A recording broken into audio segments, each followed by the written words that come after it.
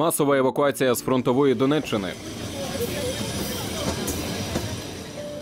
Куди діватись тисячам біженців? Ми тут нікому не потрібні. Де люди знаходять прихисток? За два з половиною роки 80%, які звідси не виїжджали. На сьогодні це є їхній будинок. Чого чекати від держави? Будемо допомагати і далі. Евакуаційні потяги з Донеччини щодня перевозять сотні жителів з фронтових населених пунктів. З найнеобхіднішими речами люди вимушено тікають з власних домівок, дехто навіть до кінця не знаючи, де саме тепер житиме. На Кропивницький.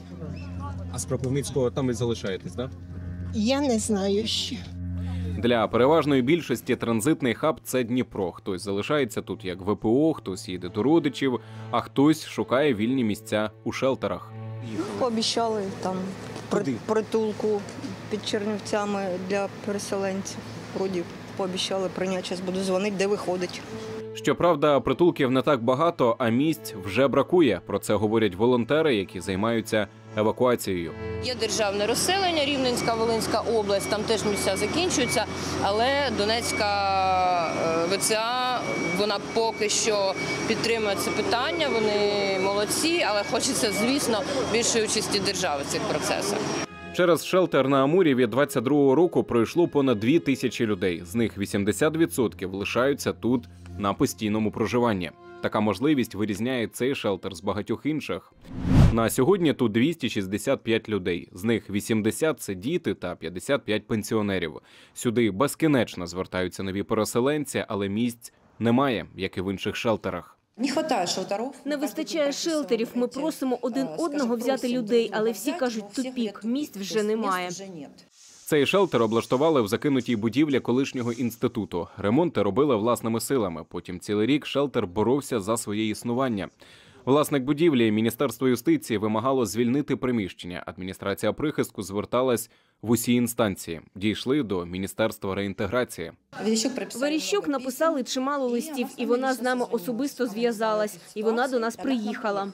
Розв'язати проблему вдалося лише зараз. Тепер це місце 265 людей називають домом. Ми тут нікому не потрібні. Ми потрібні Таліні Юр'ївні, яка відкрила цей шелтер. Оксана мешкає тут з 22-го року з двома малими дітьми, старшою донькою, двома онучками і чоловіком. Дім у рідному Сєвєродонецьку залишила. Тоді говорить, не вірила, що виїжджає з будинку назавжди. Оставались там родителі. Залишились там батьки. Ми обіцяли повернутись. На днях там помер батько. Тому І на днях там умер отець. Поэтому А це Вікторія. Жінка евакуювалась з Селидового із бабусею та сином з тяжким неврологічним захворюванням. На початках винаймала житло, грошей не вистачало. Цей шелтер став єдиним порятунком. Де місяць, де три місяці. де місяць, де три, а потім як хочеш на вулицю з речами. Ніхто там надовго не затримує. Саме цей шелтер надав нам постійне місце проживання. Дніпро для переселенців в більшості випадків перше місце, куди евакуюються люди. Що для ВПО пропонує місто? Дніпропетровською обласною військовою адміністрацією був затверджений перелік місць тимчасового проживання внутрішньопереміщених осіб. Е, Зараз у Дніпрі таких місць 42 затверджених, але є ті, які е, приймають внутрішньопереміщених осіб, але не входять в цей перелік. Е, Звичайно, що місто переповнене.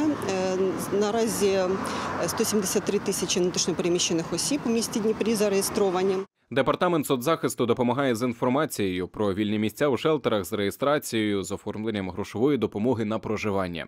Надають продуктові набори. Якщо консультація потрібна і вам, є гаряча лінія. Від початку російського вторгнення Дніпропетровщина прихистила майже 450 тисяч переселенців. В ОВА кажуть, тільки за останній місяць організували 5 додаткових евакуаційних пунктів. У таких локаціях люди зазвичай перебувають один-два дні, далі відправляються до більш безпечних регіонів. Якщо потрібно відновити документи, можуть проживати до місяця. За останній тиждень через наші евакуаційні пункти пройшли понад тисячу мешканців Донеччини. Будемо допомагати і далі. В Донецькій ОВА говорять, кожен житель, який хоче евакуюватися, має зареєструватись в координаційному центрі.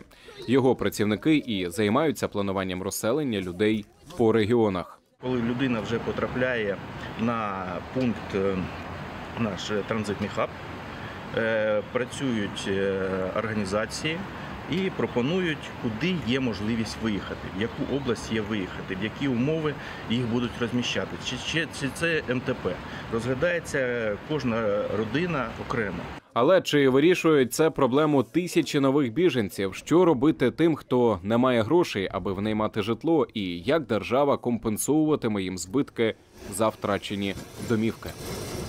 Марко Ручка, Євген Дрозд, Сергій Озіров та Денис Єлисавенко. Новини 11 каналу.